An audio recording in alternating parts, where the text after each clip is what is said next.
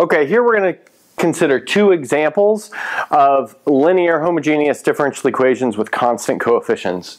So in this case, we have y double prime minus 4y prime plus 4y equals 0, and here we have a third order differential equation, which we'll also look at.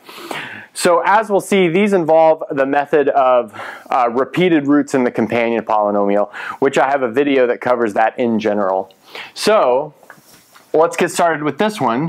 So it's um, it's important to consider, like I said, the companion polynomial. So we'll look at u squared minus 4u plus 4.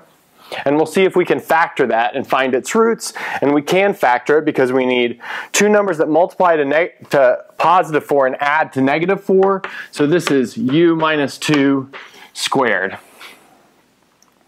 And so from previous work, we had a general solution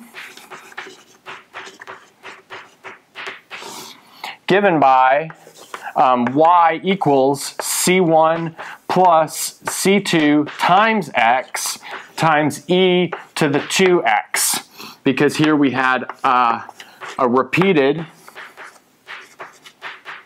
a repeated root of u equals 2 so that that shows up in the exponential. And then the other function is given by this linear function okay Good. So now let's look at this next one. So again, we want to look at the companion polynomial.